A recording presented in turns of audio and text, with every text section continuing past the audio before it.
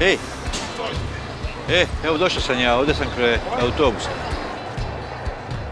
Jebate šta ti ovo? Pizza. Ja sam ti rekla da ću ja kuvat večeras. A to ti je za u ponedjeljak na posao. A, Da počastiš malo za prvu plaću. Kolika je plaća? Ne znam, nisam pitao.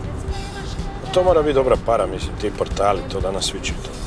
Svi će mi se rugat. Ma ko će ti se ružiti? Pa svi jebote, niko to ne radi. Odakle ti to? To se uvijek radi, treba ljude za prvu plaću počastiti. Ma nema šanse, čovječe, šta je tebi? Daj, ne budi lud, čovječe, smo rekli da ćemo se malo zajebavati.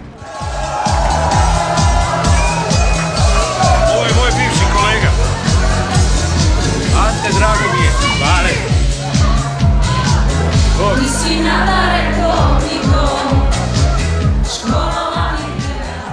Ovdje zelaš?